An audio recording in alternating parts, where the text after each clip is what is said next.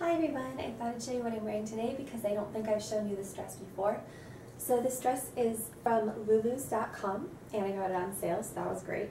It's kind of a seafoam green color and it just has regular straps in the front but it has this cutout and kind of a, let's fix that, kind of a bow detail uh, in the chest area which I think is really flattering and pretty and then the skirt kind of flares out.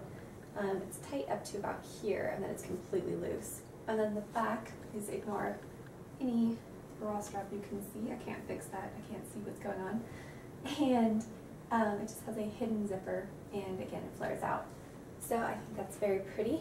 And then the shoes I'm wearing with that are my Vince Camuto heels, which um, you've seen in my how to wear turquoise heels video.